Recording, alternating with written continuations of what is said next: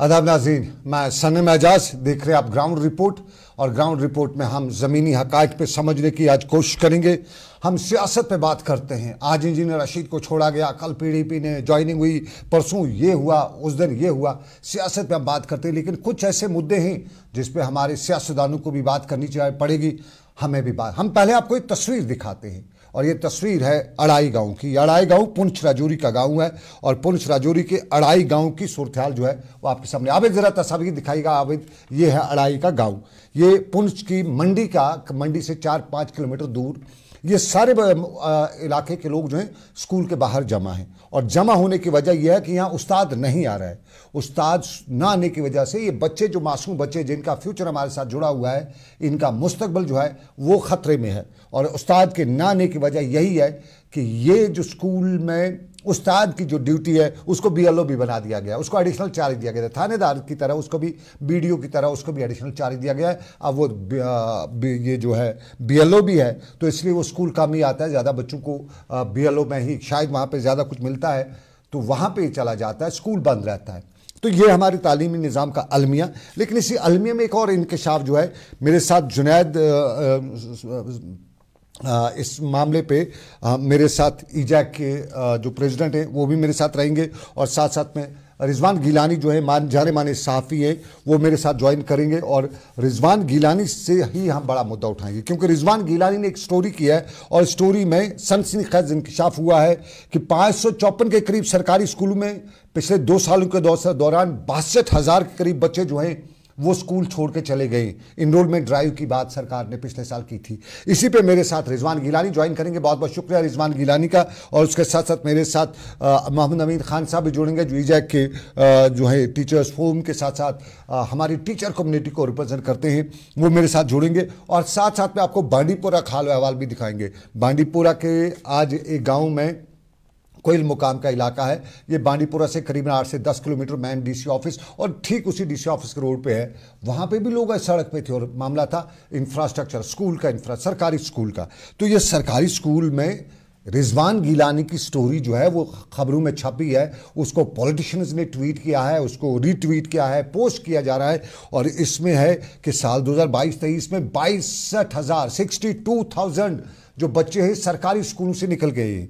कहाँ गए हैं? ये हम ज़रूरी जाने चाहेंगे। पहले अमीन खान, जब तक रिजवान गिलानी हमारे साथ जुड़ते हैं जुड़ चुके हैं। बहुत शुक्रिया बहुत शुक्रिया। रिजवान भाई, बहुत शुक्रिया मुझे ज्वाइन करने के लिए। और इम्पॉर्टेंटली ये आपने स्टोरी की है। सिक्सटी टू थाउज़ेंड स्टूडेंट्स जो हैं, ये सरकारी स्कूलों से निकल के गए कहाँ हैं? कुछ आपकी स्टोरी में जो सर्वे आपने किया है, ये गए कहाँ हैं?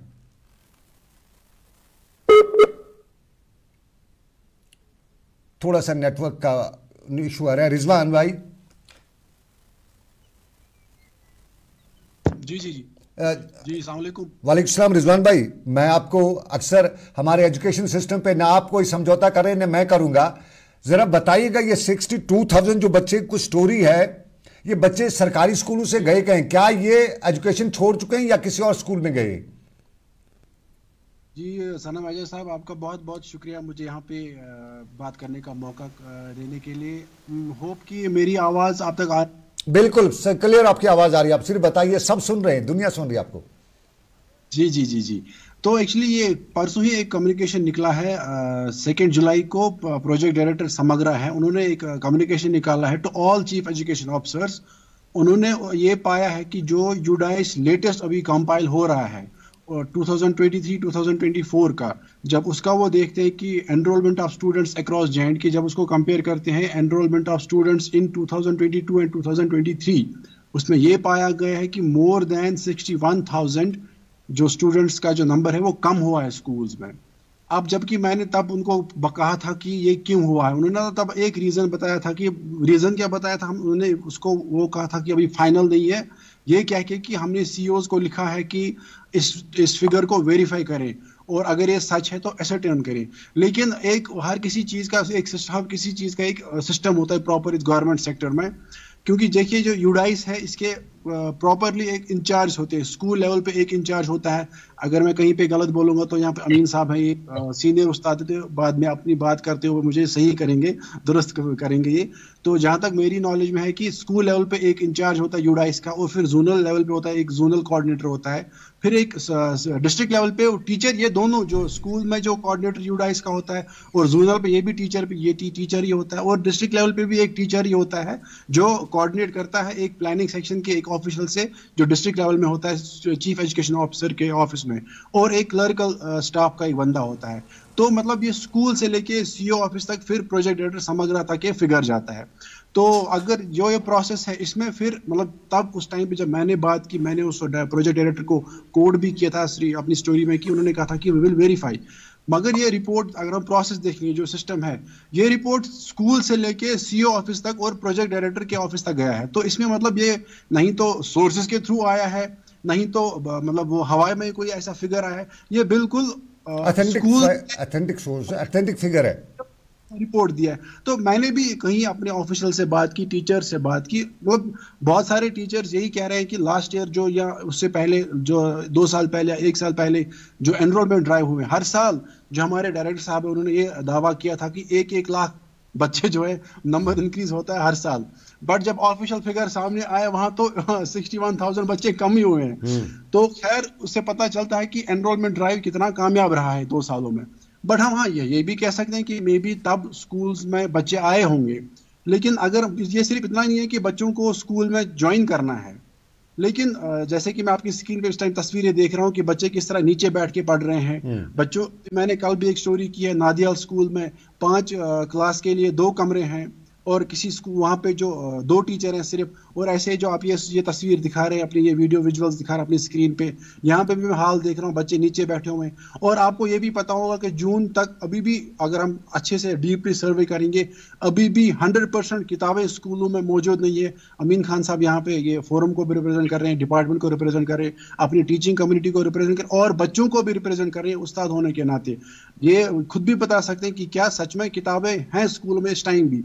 तो ये एनरोलमेंट ड्राइव या एनरोलमेंट बढ़ाना सिर्फ़ इतना ही तो नहीं है ना कि बस बच्चों को लाया उनको तब एक मतलब टॉफी दी या चॉकलेट दे दिया तो अब आप गवर्नमेंट वो उसको हम कहेंगे गवर्नमेंट स्कूल में फैसिलिटीज़ है। तो उससे काम नहीं चलता है। सच्चाई यही है कि एक साल में इकसठ हज़ार बच्चे कम हुए हैं। एनरोलमेंट में ये, ये पड़ा बिल्कुल रिजवान आप हमारे जिस तरह के जिस कम्युनिटी से आप बिलोंग करते हैं उसको मैं जिसको मैं आपको बहुत अच्छी तरह से जानता हूँ और आपका मुद्दा मकसद रहता है। अक्सर आप कहते हैं कि नहीं, हमारे एजुकेशन पे कोई कंप्रोमाइज़ नहीं होना चाहिए और मैं उससे एडमायर भी करता हूँ। लेकिन कुछ सरकार के हल्कों में कभी कभी नाराज़गी भी उससे चकलिश भी हो जाती है। उनको लगता है कि शायद कुछ ऐसा है। हमारा मुद्दा मकसद है कि हम अपने सिस्टम में, बाकी से समझौता किया जा सकता लेकिन तालीम पर समझौता ना करें। अमीन खान साहब मेरे अच्छे दोस्त भी हैं, लेकिन अमीन खान साहब, आप पिछले साल बड़े दावे करते थे कि हमारा इनरोलमेंट ड्राइव है, चूँकि कुपवारा से आप भी बिलोंग करते हैं, मेरा भी है, हमारे रिश्ते भी हैं ताल्लुकात भी हैं। मैं उन ताल्लुकात को ख़राब हों या अच्छे हों, वो अलग सी बात है। लेकिन सिस्टम पे हम इस एजुकेशन पे कोई कंप्रोमाइज ना करें। जरा मुझे बताइए पिछले साल के जो दावे आपके थे बड़ी टाफियाँ बांटी जाती थी वो वेलकम वेलकम करते थे आप जो हुआ बच्चे स्कूल तो। वो सब वो वेलकम वेलकम वो फ्रॉड ही था। हाँ, आपका बहुत बहुत शुक्रिया। और आपको मुबारक आपकी मेरी चैनल का भी। बहुत शुक्रिया। रिजवान गिलानी साहब का भी बहुत बहुत शुक्रिया कि इसने एक बहुत मुद्दे की तरफ़ हमारी तवज्जो दिलाई। मैं आपको बात कहूँ कि जो इकसठ हज़ार का एदाद शुमार दिया गया है कि ये स्कूलों से बाहर हैं, या ये कम हुआ है इनरोलमेंट दो चीज़ें इसकी। पहली बात यह है कि इसकी अपडेशन इस वक्त भी हो रही है। जो मेरे भाई रिजवान साहब ने बोला कि एक टीचर इसके लिए है प्राइमरी स्कूल में मिडिल स्कूल में हायर सेकेंडरी में, फिर सी ऑफ़िस में। इन्होंने सही कहा, लेकिन हमने बार बार कहा कि यू डाइस को चलाने के लिए एक तरबियत याफ्ता उस्ताद होना चाहिए, उसकी कोई ट्रेनिंग होनी चाहिए, ताकि जब भी वो एदाद शुमार दे तुरंत दे दे और जल्दी में दे दे। जन्म साहब, मैं आपको ये भी कहूँ कि हम इसको खारिज इम्कान नहीं कहेंगे कि इनरोलमेंट कम हुआ है। ये अगर मैं आपको कहूँ कि आयदाद शुमार आपके सामने है डिजिटल वर्ल्ड है, इस वक्त डिजिटल सिस्टम है तो मेरे झूठ कहने या सच कहने से कोई फ़र्क नहीं पड़ेगा क्योंकि सब कुछ आपके सामने है। मैं आपको कहूँगा कि एक मैट्रिक के बाद हमारे बहुत से बच्चे ऐसे हैं जो कुछ जहाँ उनको स्कॉलरशिप मिलता है। टेंथ पास किया, निकल गए और किसी टेक्निकल कोर्स के लिए जाते हैं। एक वो भी इसकी वजह है कि वो बच्चे हमारे स्कूलों से निकल निकलकर किसी टेक्निकल कोर्स के लिए गए यूटी से बाहर गए, किसी रियासत में उन्होंने एडमिशन लिया। दूसरी एक वजह ये भी है, मैं आपको वसूख से कहूँ कि इंफ्रास्ट्रक्चर कैसा हो टीचर क्या है, क्या नहीं है, लेकिन हम वेट नहीं कर सकते हैं कि हम कब इस बच्चे को अच्छी तालीम, हम साल, दो साल, एक साल, महीना, छह महीना बच्चे की तालीम के लिए वेट नहीं कर सकते हैं। मैं बहसीत chairman Jammu Kashmir teachers forum national vice president of all India teachers federation आपको ये कहूँ कि हमारे स्कूलों में जब से के जी नाफिज हुआ है प्री प्राइमरी और मैं काफ़ी मशहूर हूँ, श्री आलोक कुमार जो हमारे प्रिंसिपल सेक्रेटरी हैं, उसने उसके साथ आया का कंसेप्ट दिया, एक आया पाँच हज़ार में लगाई गई। मगर बदकिस्मती ये है कि जब हम इन बच्चों को ट्रेंड करते हैं, ये इस काबिल होते हैं कि हम इनको फ़र्स्ट में दर्ज करें। इनके वालदे उनको निकाल कर प्राइवेट स्कूल में डालते हैं। वो आपको भी मालूम है, मुझे भी मालूम है कि एक सिस्टम चला है, एक फ़ैशन चला है कि सुबह एक बैग एक टिफन एक गाड़ी है तो चार बच्चे, दस उनके साथ पेरेंट्स होते हैं, उनको गाड़ी में बिठाते हैं। मैं प्राइवेट स्कूल के सिस्टम के खिलाफ नहीं हूँ, क्योंकि हमारा बच्चा जो है ये कौम का मुश्तर सरमाया है। ये हमारा आने वाला कल मेरे स्कूल में जेर तालीम है, कहीं भी हो। एक और बात मैं आपको कहूँ, शायद रिजवान साहब ने उस पर एक स्टोरी की, मैं मुबारकबाद देता हूँ उनको, कि हमारे इस वक्त हायर सेकेंडरीज में लेक्चरर्स की काफ़ी कमी है। तो हमारे प्राइमरी और एलिमेंट्री से टीचर्स को, जो हमारे पोस्ट ग्रेजुएट को उठाकर हायर सेकेंडरी में लगा दिया गया है। वहाँ उससे क्या हुआ कि हमारे प्राइमरी और एलिमेंट्री में टीचर्स की कमी हुई। आप बटपोरा ले लीजिए देवर ले लीजिए मोनबल ले लीजिए उड़ी के ऊपरी इलाकों में ले लीजिए। जहाँ सरकारी स्कूलों में बच्चों की तादाद बहुत ज़्यादा है लेकिन टीचर कम है। हम्म। उन टीचर्स को इन इन जगहों पर लाया गया हायर सेकेंडरीज के लिए। हमारी गुजारिश है कि जो कंट्रेक्चुअल सिस्टम जिसको कल्चरल रिसोर्स कोऑर्डिनेटर का नाम दिया गया है उसको अभी एडवर्टीजमेंट के अंदर है अभी। अब पता नहीं महीना लग जाए वो कब अपॉइंट हो जाए। और हम यही आपकी वसात से कहना चाहे कि उसके वजह से जो टीचर्स हायर सेकेंडरी में है बेसिकली उनको अपॉइंट किया गया है प्राइमरी के लिए। सनम साहब और रिजवान साहब, मैं दोनों आपसे, दोनों को कहता हूँ, आप हमारे मुआज साफी हैं कि अगर एक रहबर तालीम उस्ताद के लिए ट्रांसफ़र पॉलिसी ममनू है, उसका तबादला ममनू है, फिर उसको डिप्लॉयमेंट पर हायर सेकेंडरी में क्यों लाते हैं? वहाँ जो प्राइमरी और एलिमेंट्री में कमी महसूस होती है, कमी पैदा होती है, उससे पेरेंट्स जो है, वो वहाँ से बच्चों का दाखिला खारिज करके दूसरे स्कूल में डालते हैं प्राइवेट स्कूल में। और मुबारक की बात यह है कि आज हमारा पेरेंट जो है वो तालीम को लेकर काफ़ी हसास है हम्म। आज ये नहीं है कि क्या है क्या नहीं लेकिन आज शाम को पेरेंट अपने बच्चे को देखता है कि इसने दिन में क्या पढ़ा क्या कुछ किया? मैं, मैं, बहुत से ये ये नहीं एक चीज़ पिछले साल मुझे कई जगहों से रिपोर्ट्स आए थे। रिजवान भी विटनेस करेगा उस चीज़ को। बहुत सी जगहों पे बताया जाता था कि एनरोलमेंट का जो ड्राइव शुरू किया है ये सिर्फ़ पैसे निकालने के लिए बहुत से जेडीओज वगैरह ने पैसे निकालने के लिए वो दिखाया फ्रॉड ड्रामा किए। इस स्टोरी से वो चीज़ें तो फिर अब रिजवान वो तो कहीं सेटिफाई हो रही है कि जो कुछ बताया इल्ज़ाम लोग बता रहे थे वो सही है। सनम एजाज साहब देखिए मैं आपको एक बात बताऊँगा। वही मसला हमेशा ये होता है कि हमेशा मुझे जो ऑफिसर्स होते हैं एजुकेशन डिपार्टमेंट के वो मुझे ये हमेशा ये दाव ये ना वो एक शिकायत करता है कि आपके दिमाग में रिजवान आपके दिमाग दिमाग में सिर्फ़ नेगेटिविटी भरी हुई है। लेकिन ये नेगेटिविटी नहीं भरी मैं उनको एक आईना दिखाता हूँ। जब भी ये अमीन साहब इसमें मतलब एग्री करेंगे मेरे साथ जब भी एक एनरोलमेंट ड्राइव होता है सपोज़ जहाँ पे इस टाइम खड़ा हूँ सनम शाह सनम साहब मैं आपको ना नहीं कर सका मैं ड्राइव कर रहा था मैंने हम्म। गाड़ी रोक के एक स्कूल के सामने ही अपने गाँव में। मेरा एक अपने मे, मेरे गाँव का स्कूल है जब यहाँ पे एनरोलमेंट ड्राइव था यहाँ पे एक बहुत अच्छा फ़ंक्शन हुआ लास्ट ईयर जाडियो साहब आए सरपंच साहब आए और सबको ड्राई फ्रूट्स बांटे गए। उसके बजाय स्टेज सेट करने के बजाय जो जडियो साहब ने ड्राई फ्रूट्स खाए जो सरपंच साहब ने ड्राई फ्रूट्स खाए अगर उसके बजाय एक पेरेंट को बोलने का मौका दिया होता उस उस उस, उस जगह पे उस स्टेज पे कि वो अपने बच्चे को अभी तक क्यों नहीं ला रहा था गवर्नमेंट स्कूल में? और अब अगर ला रहा है तो क्या मतलब क्या उम्मीद लेके ला रहा है? जो अभी अमीन साहब ने कहा कि बच्चा आता है स्कूल, लेकिन दो साल के बाद निकलता है। यही खुद ही, उन्होंने खुद ही उस बात का जवाब दिया जब इन्होंने पहले कहा कि बच्चा किंडर गार्डन में आता है, फिर फ़र्स्ट प्राइमरी सेकंड प्राइमरी निकल जाता है। क्योंकि इन्होंने खुद कहा कि प्राइमरी और मिडिल स्कूल में टीचर्स नहीं, वो तो हायर सेकेंडरी में पढ़ाने गए।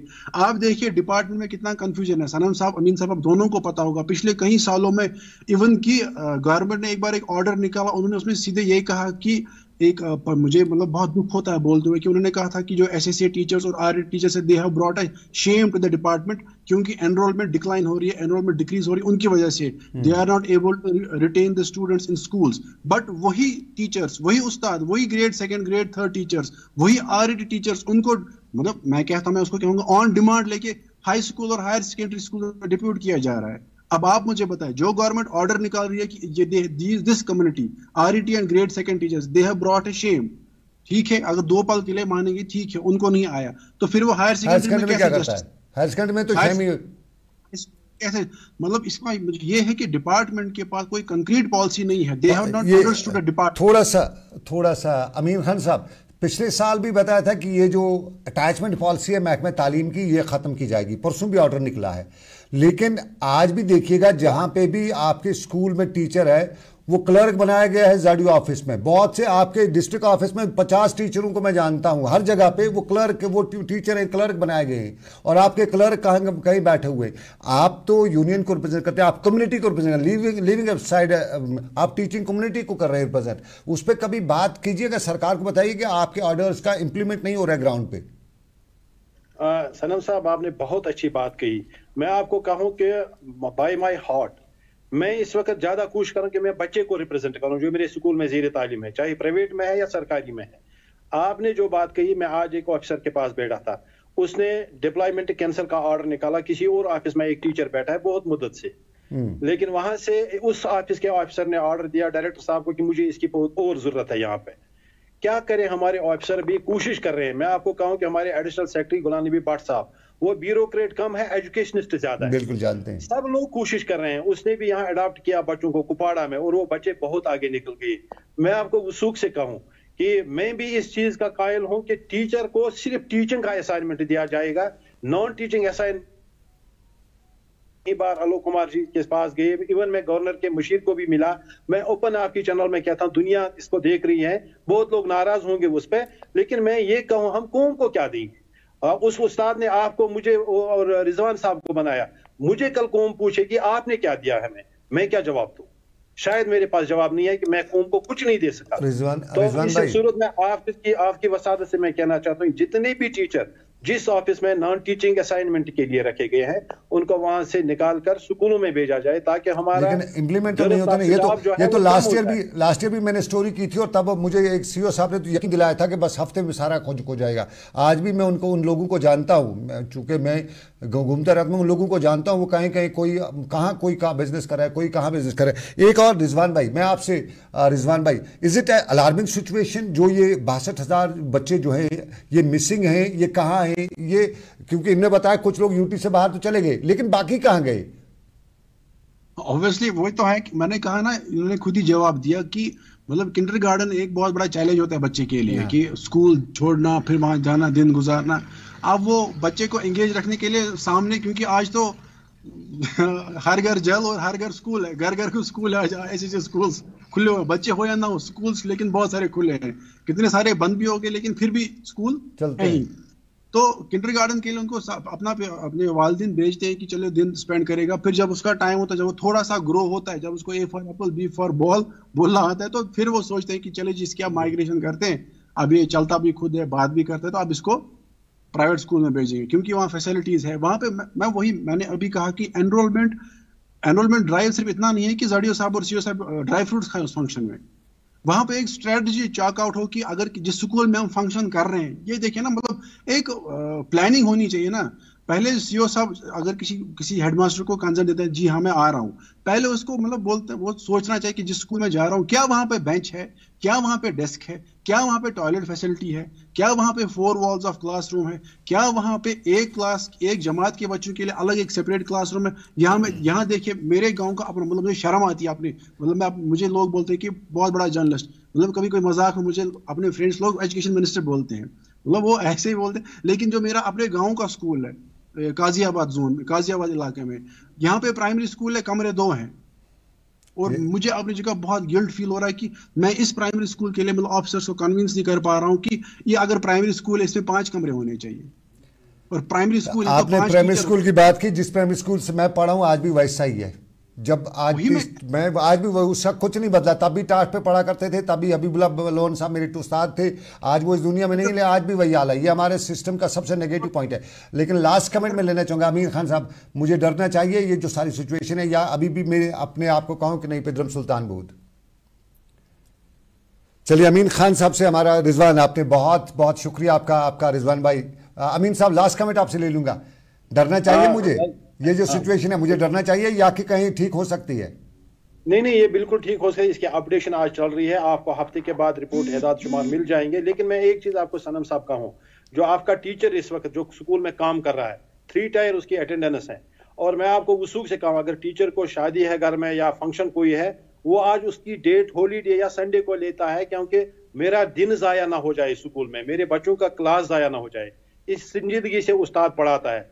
लेकिन उसको जो एडमिनिस्ट्रेटिव लेवल पे सपोर्ट मिलना चाहिए शायद वो, वो उस नवियत का नहीं मिल रहा है अभी। तो मैं हम कोशिश करेंगे मुश्तर सरमाया हमारा ये बच्चा।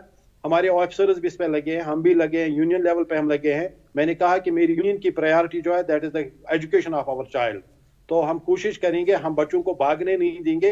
एक आला उस्ताद उनके पास है और सिक्किम में जितनी भी हमारी मरकज से आती हैं सनम साहब मैं आपको वसूख से कहूँ या मेरे गिलानी साहब बैठे हैं मैं आपको कहूँ कि अगर उनको प्रॉपरली इम्प्लीमेंट किया जाएगा तो यहाँ पे सरकारी स्कूलों में एक इनकलाब आ जाएगा। इतनी अच्छी स्कीम है। मेरे पास वक्त नहीं है इस पे बहुत बहस की जा सकती है। रिजवान बहुत शुक्रिया।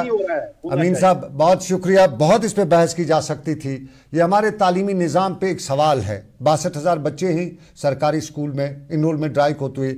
और इसके पीछे की कहानी मैं अपने इस का एहतराम ना करूँ तो मुझ जैसा बे, बेवकूफ़, बेईमान कोई नहीं हो सकता, क्योंकि मुझे इस ने हाथ पकड़ के यहाँ पहुँचाया है।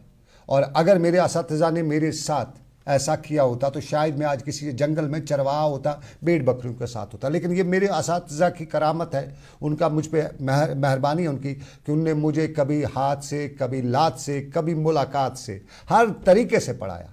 और बहुत बहुत बेहतर पढ़ाया। मैं शुक्रगुजार हूँ उन सभी इस का। मैं बट साहब का शुक्रगुजार हूँ, मैं भूषणलाल का शुक्रगुजार हूँ, मीर साहब का शुक्रगुजार हूँ, लोन साहब का सबका उन्होंने हर तरीके से मुझे पढ़ाया। लेकिन आज के सिस्टम में मुझे तालीम का ये निज़ाम समझ नहीं आ रहा है। ये साउंड बाइट देखिएगा, आप ज़रा साउंड बाइट चलाइएगा, रजौरी के अराई, पुंछ के अराई स्कूल में उस्ताद की ड्यूटी जो है, उसको कहाँ भेजा गया है? ज़रा साउंड बाइट चलाइएगा, क्या कहते हैं? रात नौ बजे हम आपको तफसील से एक और मामला भी दिखाएँगे, लेकिन ज़रा साउंड बाइट चलाइए यार।